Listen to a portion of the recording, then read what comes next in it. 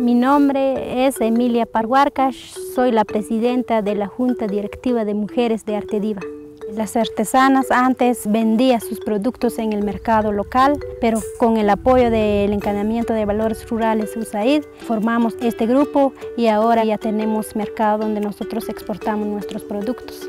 Exportamos porque elaboramos con una buena calidad de productos, a través del apoyo de Agexport nos capacitó sobre elaboración de diseños, elaboración de canasta de hoja de pino, ya podemos combinar los colores. Aprendimos nuevas técnicas como técnica en crochet, técnica en zigzag y técnica en relieve. Antes empezamos con 20 mujeres y ahora ya somos 35. El primer acercamiento que tuvimos con el comprador Mayan Store fue aquí en la asociación Adiva, nos visitó y, le interesó nuestros productos.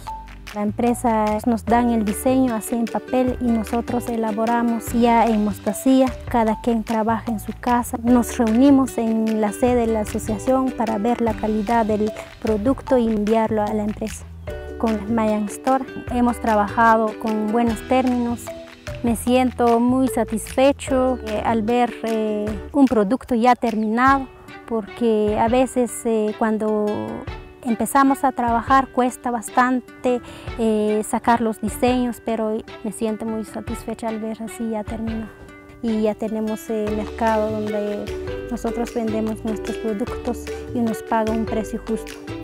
Mi sueño con mi familia es mejorar el ingreso en familia, tener eh, acceso a la educación de los niños.